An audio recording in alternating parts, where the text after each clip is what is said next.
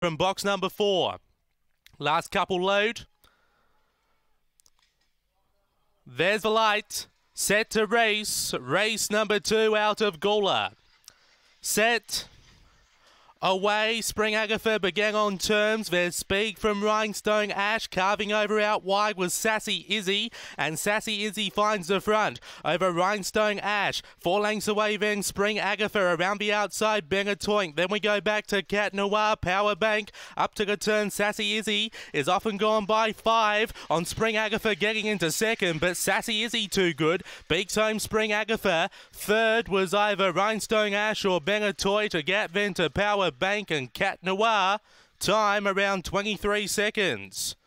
23.08 that time and a 7. Had too much speed early. Sassy Izzy carved over from a wide box and has got up for the win for Kim Johnston. That time 23.08. Second number 4 Spring Agatha for Greg Board. Third number 1 Rhinestone Ash for Tegan Bodsworth. And fourth number 8 Banger Toit for Paul Fagan. 882. That early split rung home in 14.26, 23.08 that time. 7, 4, 1, 8 your numbers after race number 2 here at Gawler.